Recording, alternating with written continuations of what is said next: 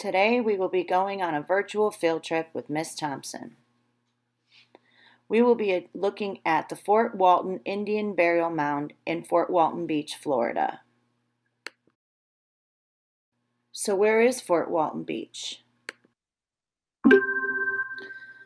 So you'll see here that I took the starting point as the Cleveland Board of Education and I mapped it all the way down to where the Temple Museum is. So you've got Cleveland up here, this long drive down here, and I tell you it is a very long drive. And then as you get, um, so you'll see the water that is down here. The water that, why is this not moving? This water right here is the Gulf of Mexico. And this is the border of Florida, and this part of Florida is called the Panhandle. So as I get zoomed in, oops, you've got the Gulf of Mexico right here. And this is that panhandle of Florida. And the temple that you're going to be seeing for your virtual field trip is right here. So it's right here on the water. Um, so that is where we are for today's field trip. The city of Fort Walton Beach Heritage Park and Cultural Center is where the Indian Temple Mound Museum is located. That's in the city of Fort Walton Beach, Florida. We're going to be looking at the museum and the mound itself. So, first, we're going to see the museum. And in the museum, it's full of artifacts from over 14,000 years of Native American occupation around this area. It has over 10,000 artifacts of stone, bone, shell, and clay from a 40 mile radius around downtown Fort Walton Beach. Now, here's what we need to understand that we think normally when we think of Native Americans, we think of the names of the tribes that we learned from the Europeans that landed here. But these people in this museum are from an earlier time period before those.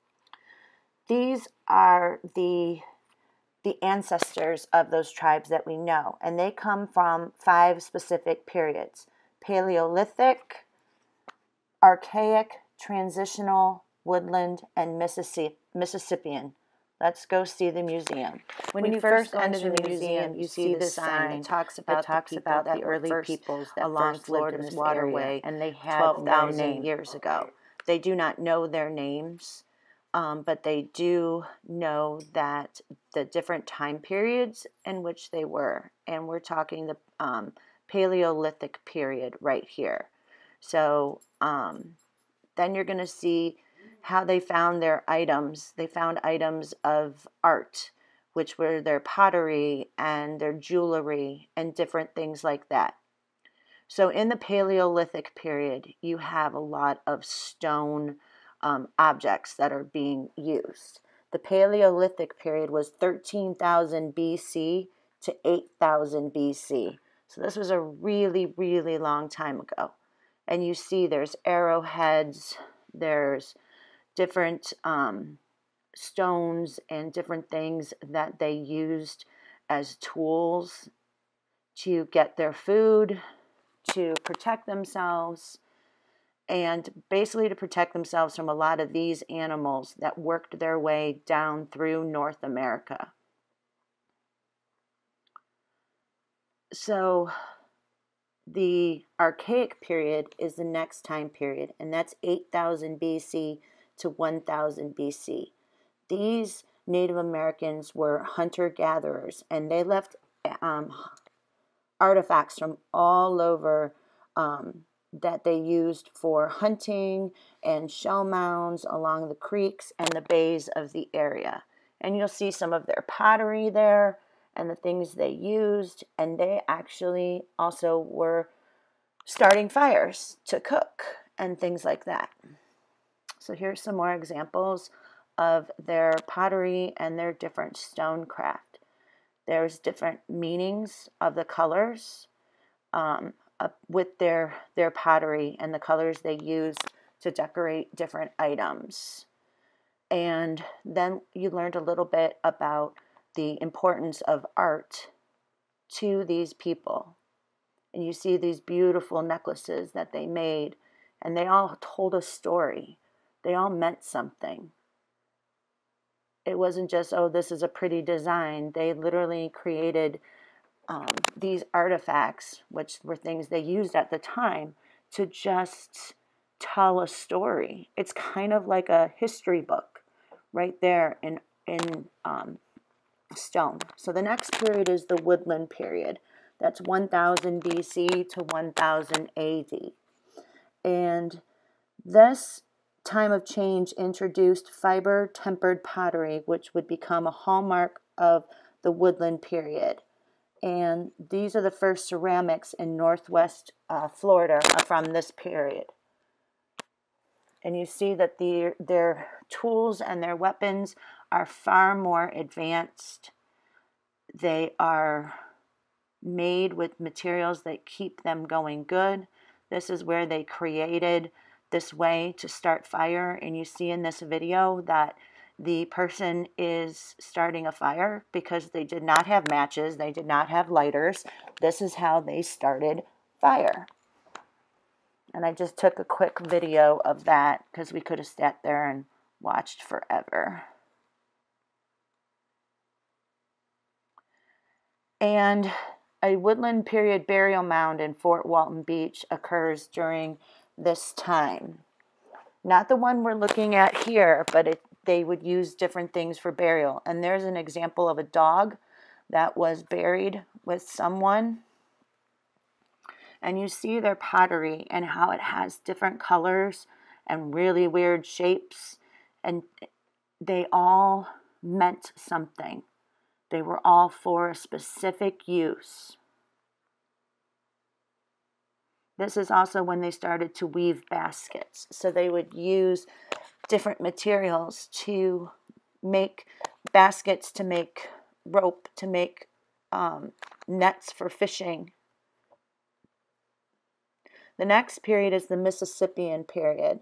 That's 1000 AD to the European contact around 1500 AD. So, this is the materials that they had. Um, they built, this group of people built the Temple Mound and the village around it that you're going to be seeing as we leave the um, museum and we go outside.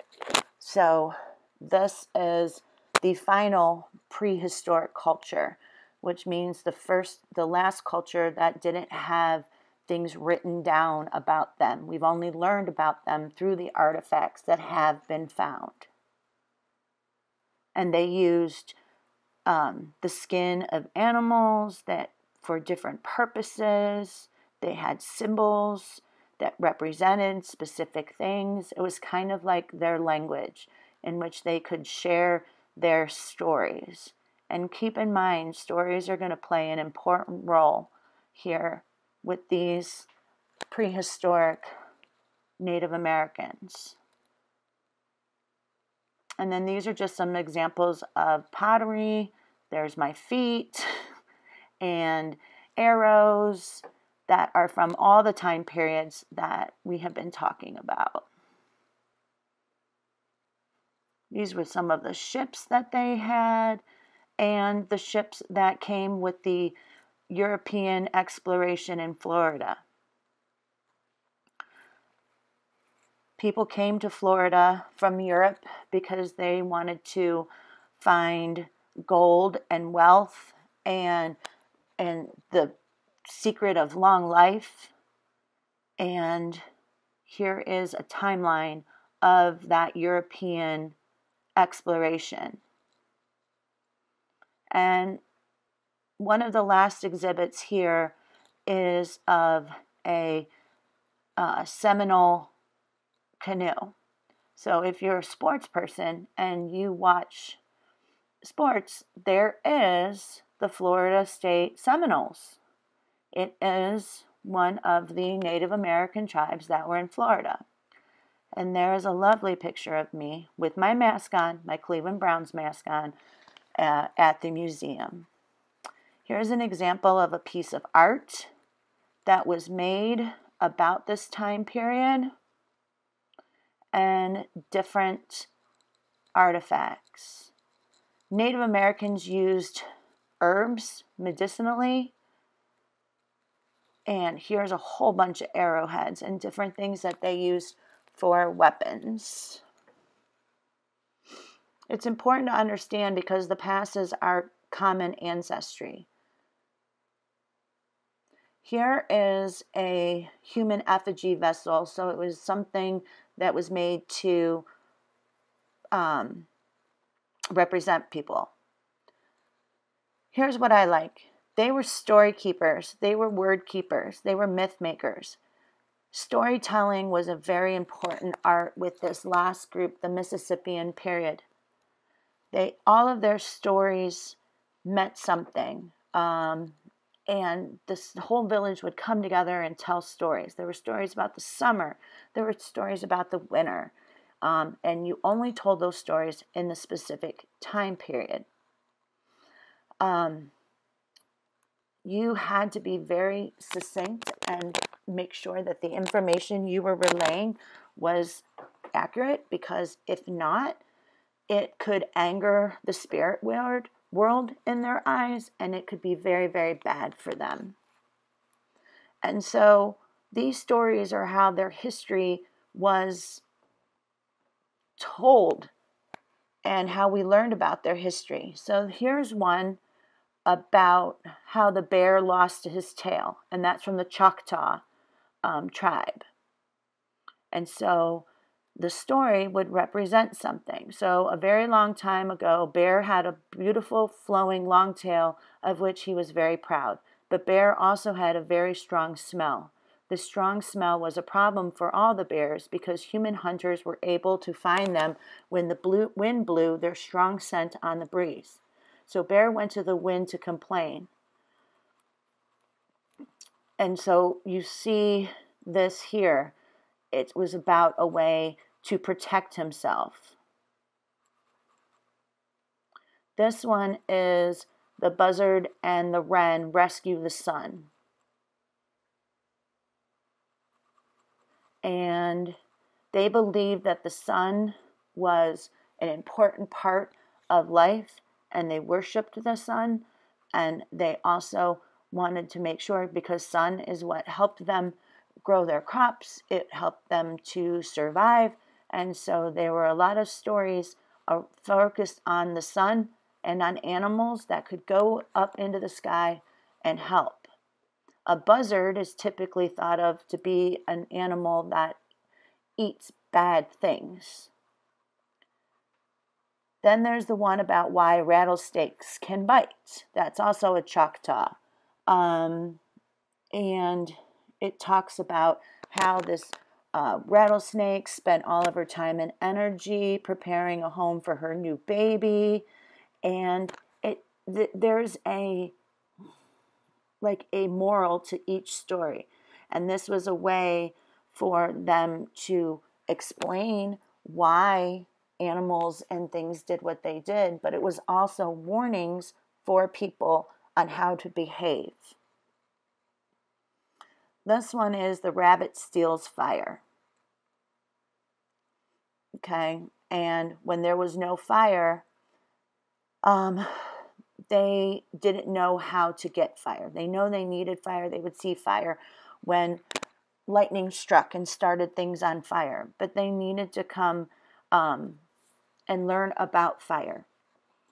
And so this goes through a whole story about how Rabbit um, reached across to the far side of the ocean and he met the people who had fire and he brought fire. This one is Why Possum's Tail is Bare. And this is Cherokee. Um, and they say possums used to have a long and bushy tail. um, and he combed it and took care of it every day. And Rabbit, who had no tail at all since Bear pulled it out, was very jealous and made up his mind to play a trick on the possum. And so, again, you have a bunch of animals here that are talking and acting in ways that humans act and doing different things. Okay, so now we're going to leave the museum and we're going to head outside. And this is the story of the Fort Walton Temple Mound. Okay, so you would have seen, you see the village right there. There's a, a statue next to it, and the temple would have been the center, and all around it would have been the village with the people. The only thing that remains today is the temple. And this is the mound. This is one side of the mound. When you're looking, it just kind of looks like a hill. Doesn't look like anything special. There's palm trees and different types of trees and all, you know, different types of plants. And there's the museum. And then it was interesting that there was a story about the red buckeye, you know, Ohio Buckeyes. And the buckeye was actually used for fishing because they would take part of the um, the nut and they would use it to stun the fish and then catch the fish. So here is the mound as we are starting to climb the stairs up the mound and Actually, we're now at the top. Yes, we are at the top of the mound now. And it was talking about preserving, this sign is talking about preserving and protecting the mound and what people have done to preserve this history. And I'm telling you, the mound is literally in the middle of the city. This is the temple. We could not go in there. There's nothing in there, but we could not go in there. We're fenced off. And so I have just this video. And you see on the other side of the mound, you can see that there's cars and there's stores and there's all kinds of things. But there's a lot of very big and old and majestic trees all around. You see the stores and the cars going by. It's right off of a major um, street, uh, like Euclid Avenue, very busy street. And see how the top of the mound is just kind of flat. So the mound would be there, and the people would be, and there's my dad who went to the temple mound with me, and you would see everything come up to it and then it flatten out. And then that's what this is, is talking about, the story of the Fort Walton Temple Mound. Okay, so it was a part of the Mississippi period between 800 AD and 1400 AD. They built this mound so a building on its summit could be the residence of the leader, a temple for religious ceremonies, and a place to direct games and public activities. Leaders were also buried in this mound. And so now we've come back down, and there's my dad again. And did not get the concept of staying out of my video as I was trying to take it. Um, but this is the side. We're now walking back towards the street. So we've been on one side of the mound, one side of the square, even though it's really not a square, but you're looking at it that way and we're heading towards the major street. We were also practicing a lot of social distancing, so sometimes you'll see a little pause because I needed to wait until the group that was ahead of us um, moved on because of social distancing. And I tried not to get them in our video. So here we are down on street level looking at the side of the mound.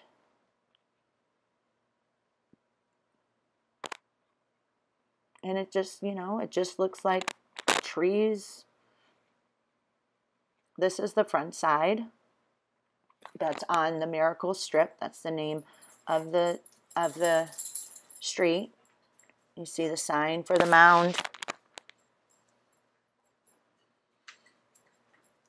and I'm just walking along looking at all the different types of palm trees. I didn't realize there were so many different types of palm trees.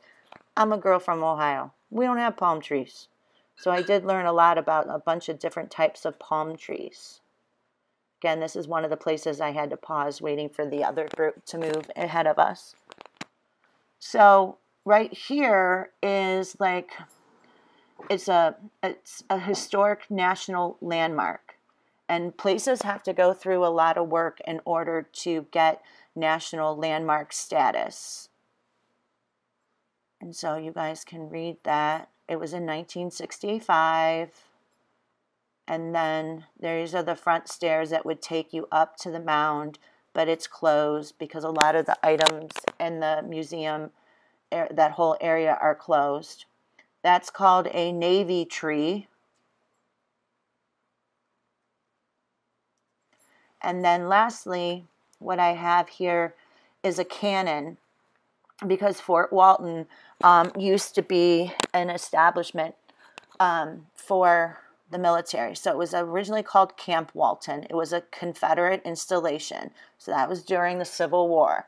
Um, it was constructed in 1861 to guard the East Pass. So if you think back to when I showed you that video, that video of the map, it showed that it was right there on the water. Right there at that area is a place where people can come in. There's like land, then a little strip of water, and then a island.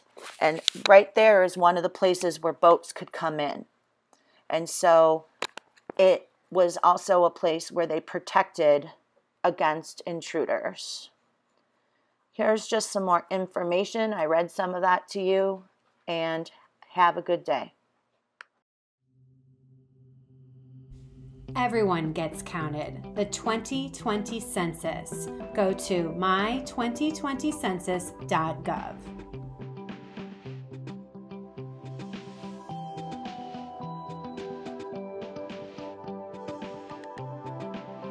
Get counted.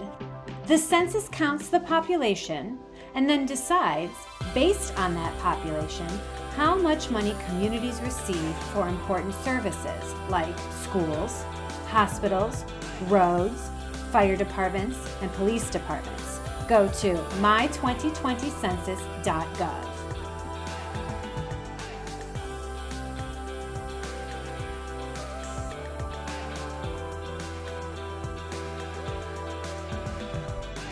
Counting the number of people in the census determines how much federal money is allocated for schools.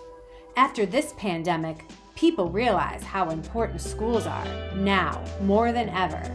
Go to my2020census.gov.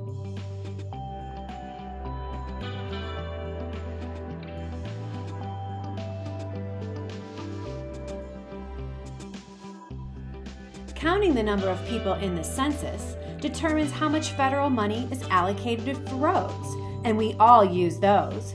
Go to my2020census.gov.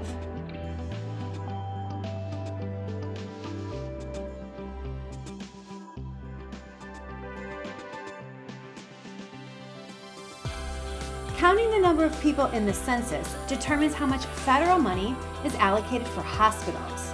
Since this pandemic, we are very aware of how important those are. Go to my2020census.gov.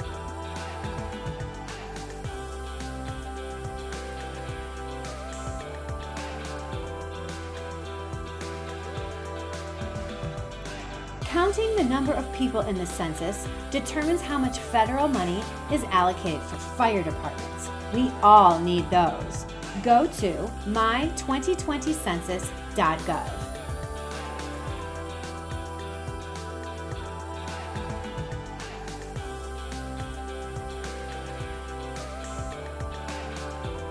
Counting the number of people in the census determines how much federal money is allocated for police departments, and we all feel safer with those. Go to my2020census.gov.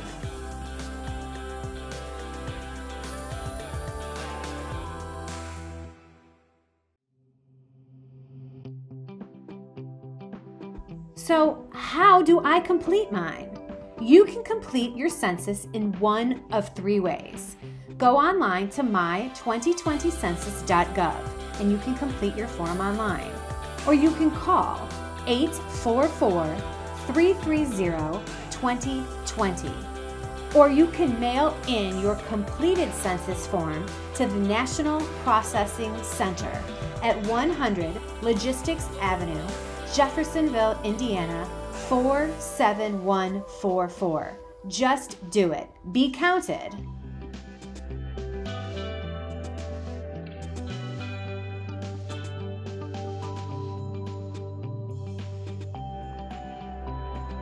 Be counted. My2020census.gov. Welcome. My name is John Dutton, and today I am going to show you how to program with Python. We are going to use a couple different tools. One of those tools is called Replit. We'll be going out to their website, and we are also going to be using a tool called Turtle.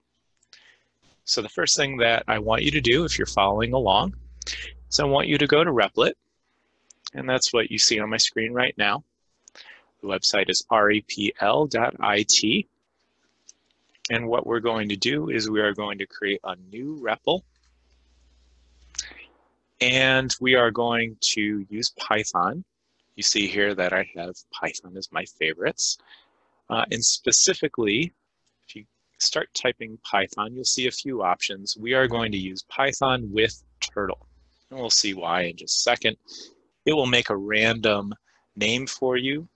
What you're going to want to do is you're going to want to put in a name and this is going to be draw a letter C is what we're going to be doing today. It could be any name that you want, but that's the name I'm going to use. In fact, I've already used it.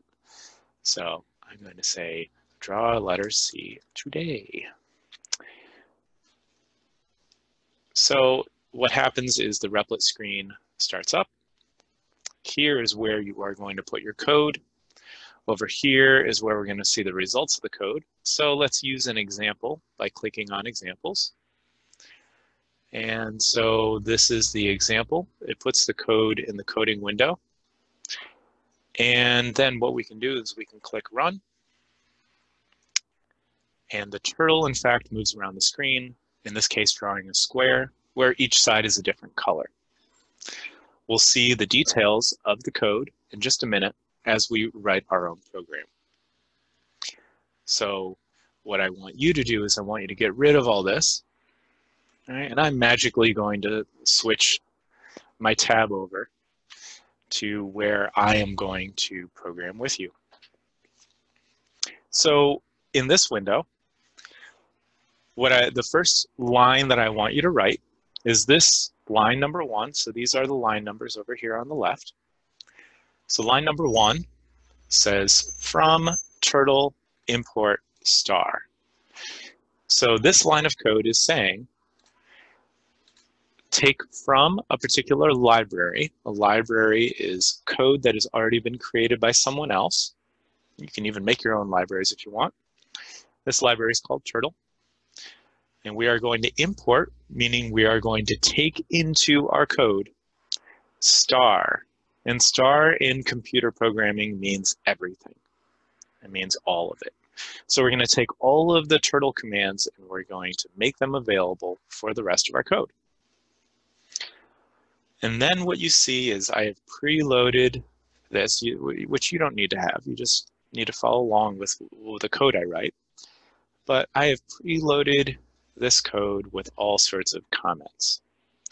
And the reason I've done that is because comments are a great way to keep track of the code that you are writing, the code that you want to write, and they're a great way to look back afterwards, after you've written code or after someone else has, in order to figure out what the intent of the code is.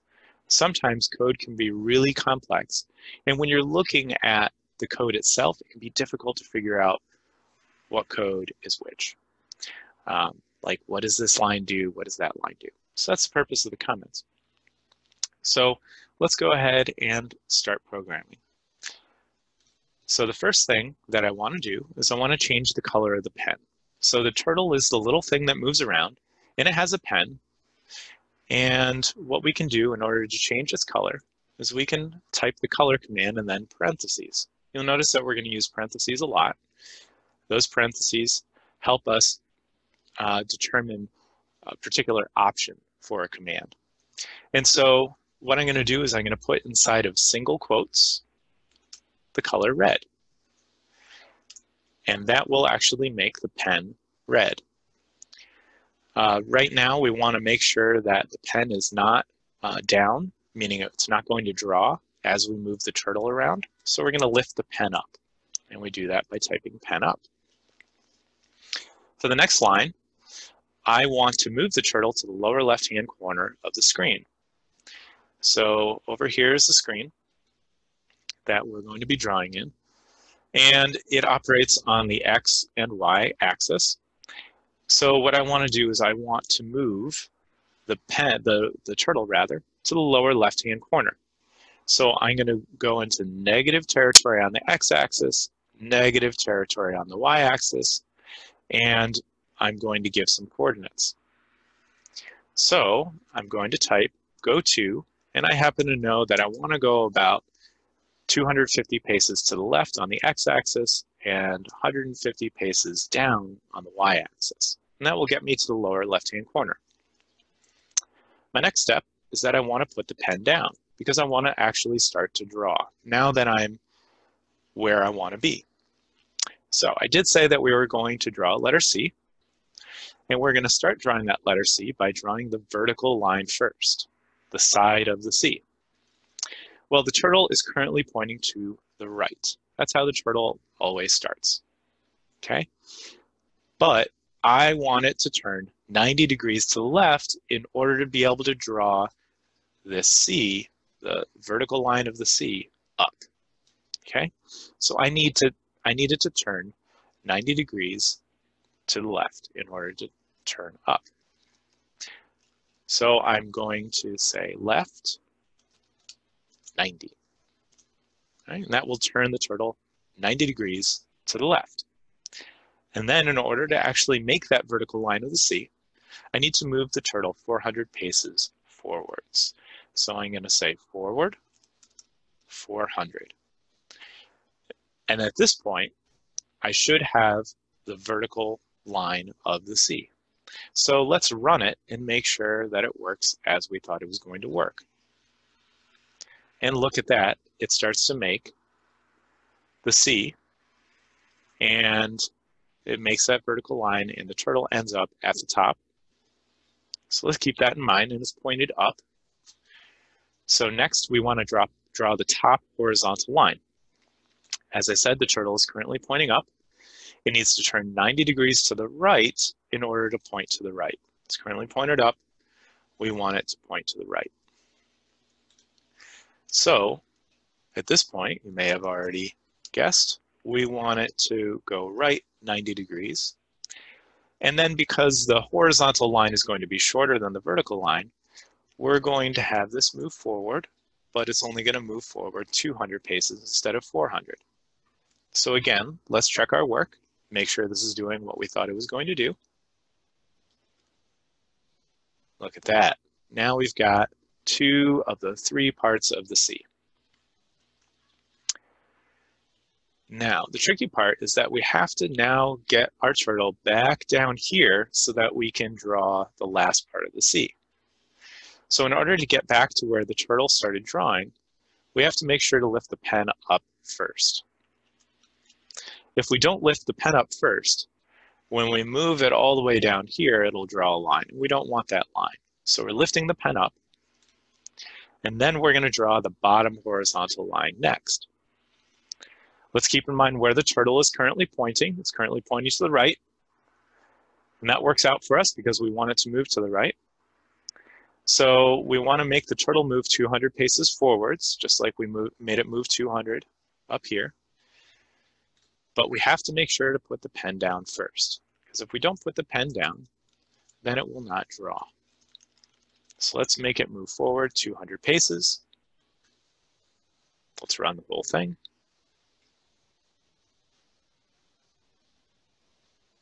And clearly we didn't do something right. So that's a great part about testing over and over again while you're writing your code. What did I forget to do? I'll give you a second to think about it. If you said, put the go to to the original spot where the turtle was, then you are right. So up here after line 35, when I brought the pen up, I need to actually write that go to statement. And that go to statement is going to take me to the original, the origin of the C, the original location where I started, which again was x of negative 250 and y of negative 150. All right, so let's test it one more time.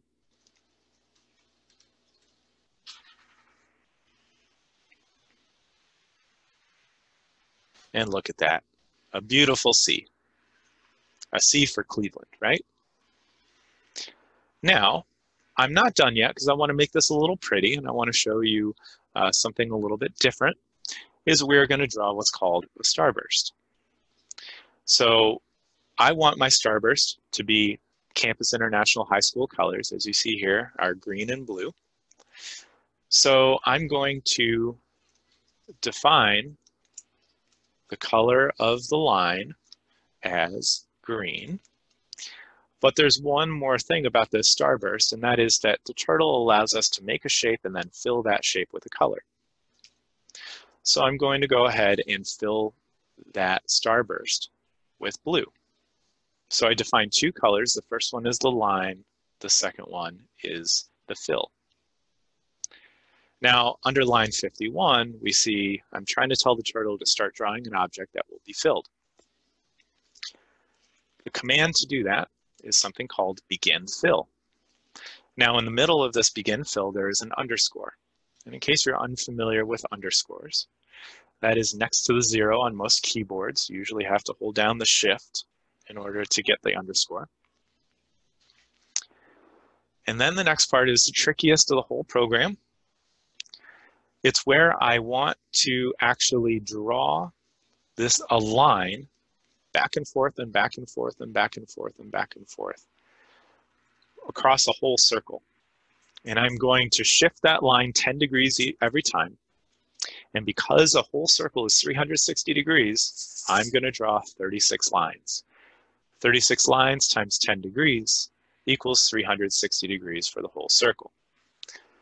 And how I'm going to do that, instead of just writing 36 different draw line statements, is I'm going to do a loop.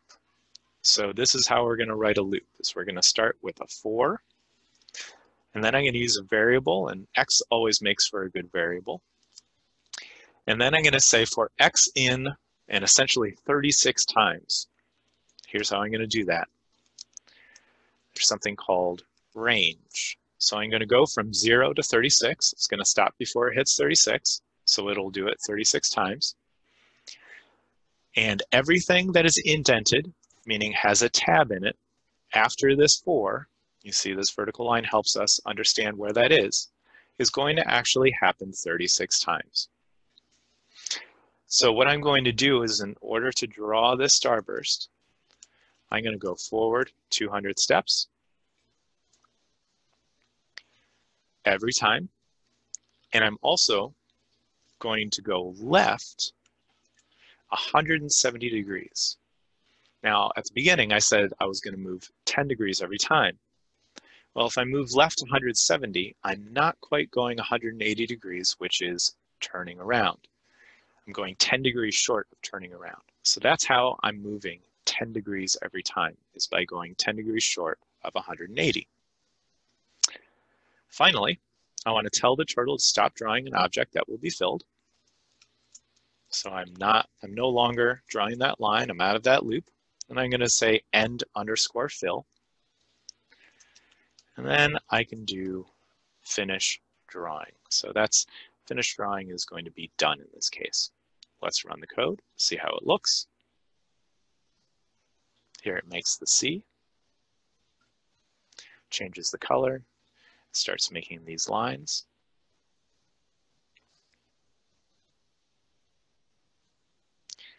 Line after line after line. And what we see here is that it is making a total of 36 lines. If you enjoyed this, please don't hesitate to visit my website for more information about coding. I will be recording part two if I get some feedback and we can learn some more. I was born and raised in Cleveland, Ohio. I'm in the Fulton, Memphis area. My wife and I and our three boys live in Edgewater. I live in the Lakeshore Collinwood Arts District. I live in Kamm's Corner area. I've lived in the West Park neighborhood for 21 years. For five years. I've lived in Cleveland all my life. 37 years. Majority of my life. All my life. 18 years.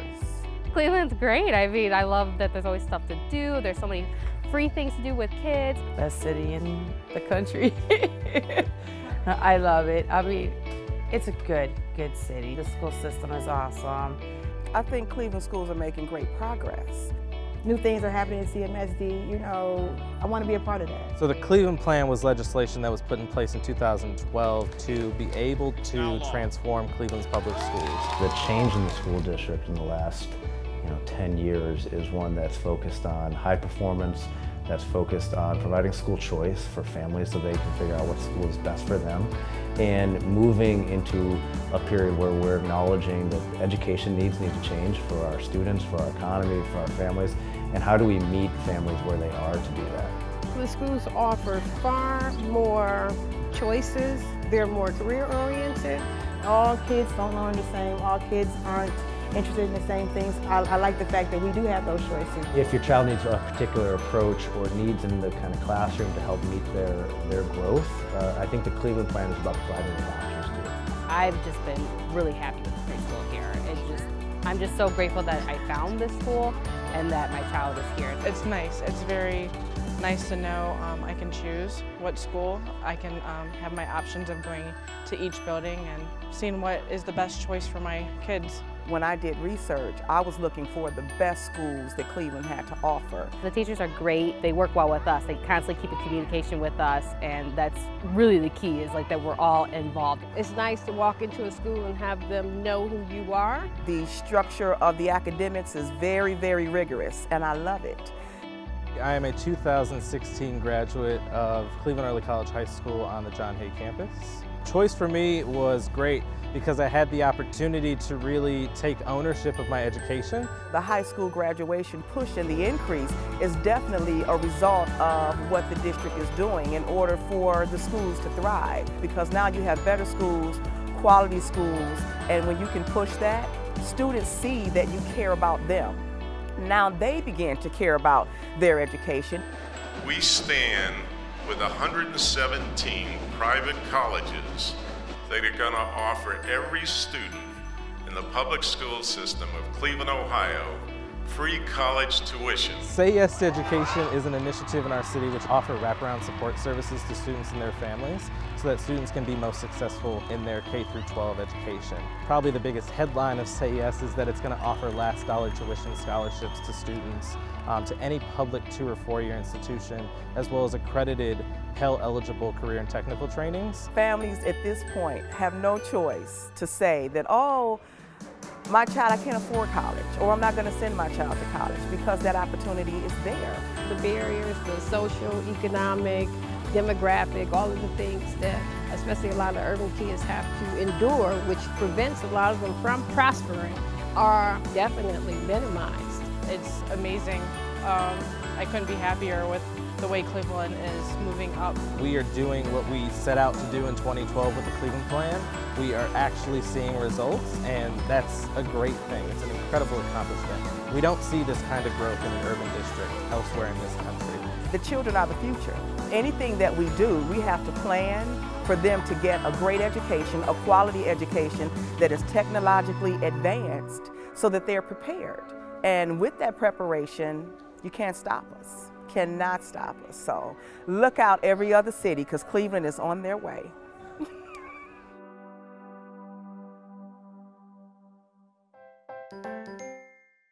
Good morning. My name is Mrs. Graytech, and I teach English 3 and AP Language over at John Marshall IT. Recently, I know that Ms. Thompson's talked to you guys about upstanders and the local heroes you have in your community, or maybe even that you live with. But today I wanted to focus on the heroes in the books we have you guys read or the movies that you go see. So let's start with epic heroes. Because what does epic mean to you guys? You use it all the time. You didn't invent the word. But when you use it, it is exactly this. It is about people who are beyond brave, beyond smart, and beyond strong. They are so far above everybody else, they leave us all in the dust. But they're also on a quest. Like they have to have a mission to feel fulfilled. They are ethical. They will do the right thing. They will put their lives on the line for you. And they're a good leader. People want to follow them because they are all these things. And they reflect the ideals of the society they lived in. So, if you had an English teacher who had you read about the Trojan War, if you read about that famous horse that they brought into the city, then you read about an epic hero because Odysseus is one of those guys. He created that horse, he created the whole idea. And because of his idea, they were able to end the war and win it. But maybe you didn't read that. And maybe some of you who are older who have read Beowulf, that's another epic hero. It, this is a guy who went to different countries to defeat monsters with his bare hands because he's just that good. He's strong and he's smart and he outwits them and he defeats them and he saves the day for everybody. But he's also a little full of himself. But you guys, you have modern heroes, mostly in your movies, but you do have modern heroes. And your modern epic heroes are easily recognizable. So you got Luke Skywalker, Everybody knows who he is. He defeats Darth Vader. He helps restore the balance at the end. We all know who he is. Aquaman. Same thing. He's a little upset that he doesn't get to grow up with his mom, but because of it, he's strong and he's got, well, let's be honest, he's got a little bit of a grudge against the mer people, but he does end up reuniting them because he does the right thing. The Black Panther. Same thing. His approach to how he rules his people is different than his father's, and he realizes they shouldn't have isolated themselves, but he still needs to protect his people. So it's a fine balance, but he does the right thing. And Captain Marvel, she didn't even know who she was. But again, once they come into their own, they do the right thing for their people to take care of the people they love and the people that they are in charge of and responsible for because that's what good leaders do. But maybe this isn't your kind of hero. Maybe you're more into fantasy. In which case, then we need to look at the romantic heroes. Romantic hero doesn't mean that they're full of love and they have a love line and a, everything has a love interest. That's not the case. It might be part of it, but it doesn't have to be. The biggest thing about romantic heroes is that they have magic. We don't know everything about them because sometimes their backstory is a little fuzzy, but they do have some kind of initiation. They do have magic weapons. They usually have a magic mentor, or at least someone who's very smart to guide them. And when they leave us, it's a little fuzzy too, because they might be back to help us. So if you've read any of the King Arthur stories, that is a perfect example of romantic hero. He grows up with a family and a servant. He pulls a sword out of a stone and boom, he's king. And he has Merlin to help him. And when he leaves the world, we don't really know that he's dead. He was severely injured. He's probably dead, but we don't know that for sure. So he could just pop up sometime when we really need him. Okay, so who does that sound like that you guys have read about? How about Harry Potter. That kid was always in trouble. And I don't mean trouble because he did something wrong. I mean trouble because it it came to his front door. And he always tried to do the right thing for people, even when it was people he didn't like, like Draco Malfoy. Wonder Woman, same thing. She comes in and out of our world depending on when we need her. Sometimes there are decades of a gap between when we see her. But the one you might be wondering about there is Indiana Jones. And I know some of you are thinking, he's human, he's an archaeologist. What's so magical about him? But you can make a case for him because you think about it, the artifacts that he goes after are all magical. And it's the same thing. He's trying to do the right thing.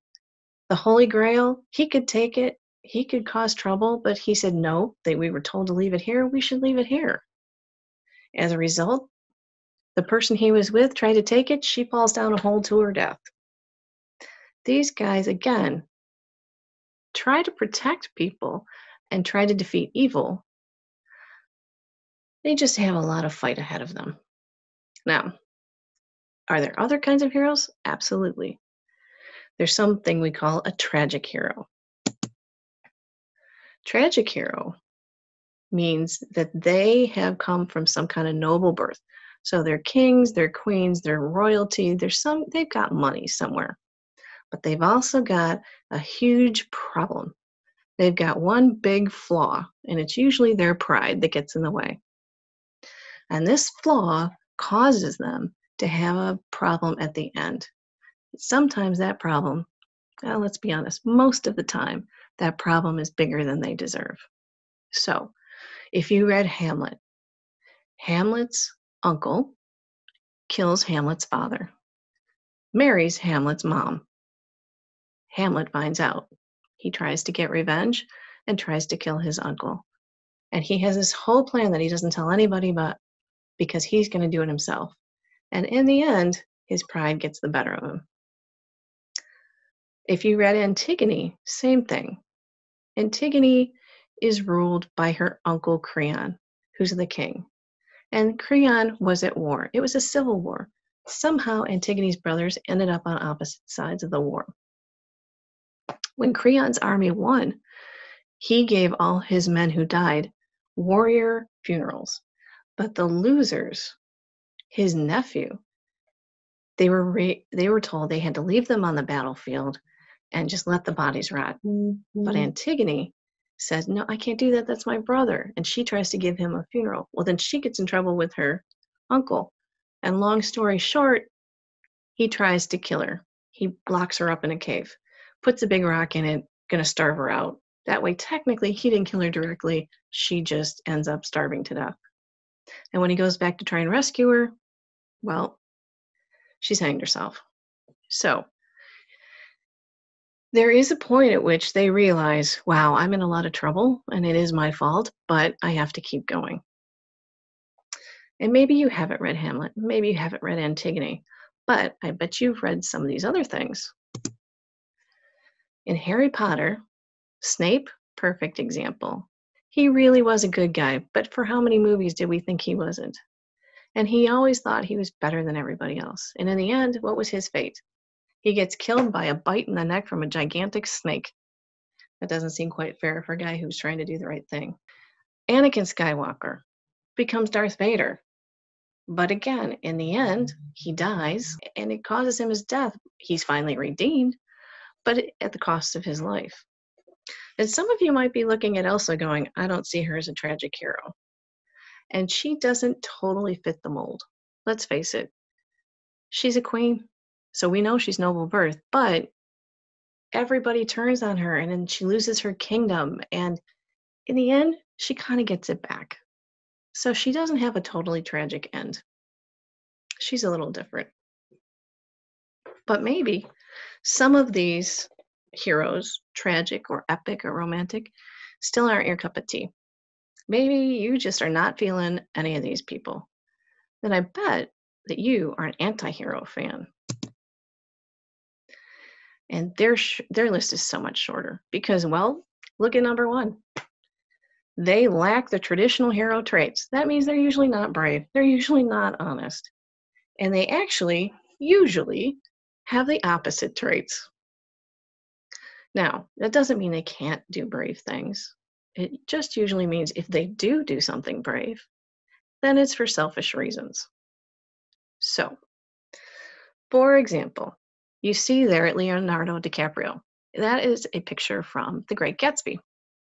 I had my AP kids read it this year, and they just they just got so upset with him because they couldn't understand why he would put out all this money and go to all this trouble to win over a woman who, in their estimation, was a shallow, flaky social climber. And they didn't like that.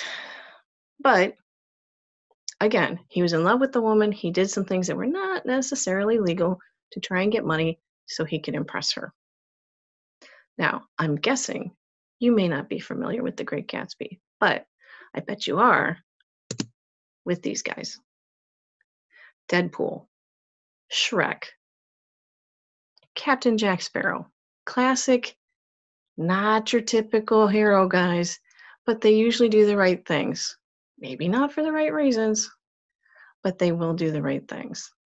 And here's the best part audiences love these kinds of heroes. We get attached to these guys because maybe out of all the heroes, they're most like us. But the bottom line is somewhere in these four kinds of heroes that you read in the books, I'm betting you find some people that you live with and people that you know. But we're English teachers, right? And we always tell you that the book is better than the movie because, well, it is. That's just how we roll. But in this case, I'm going to show you the movie posters to the mo- to all the books that I talked about so that you can look at them over summer break. And maybe when the libraries open back up, you can actually go get the book out. First, we have the Odyssey, and I have to admit, this one's a little bit harder to get a hold of because this is an older one. Beowulf is animated, and The Great Gatsby, well, there are three versions. Leonardo's is just the most recent one. Hamlet, again, multiple, multiple movies. Most recent, it seems to be the one that my kids most like when we watch it. Merlin, you got to be a fantasy person to like that one. And Antigone, while I love the story, unless you are a fan of black and white movies, you're just not going to be a fan of this movie. Now, the Harry Potter movies, seven books, eight movies, that's a lot of movie watching or a lot of reading. I'm going to hope you're reading. In any case, start thinking about these people when you go to the movies, when you read these books. Who are the heroes? What makes them a hero? What are their qualities? And then think about the people in your life. Can you compare them to anybody in what you read? Because ultimately, reading should reflect our lives and what we believe. And if nothing else, it's an escape.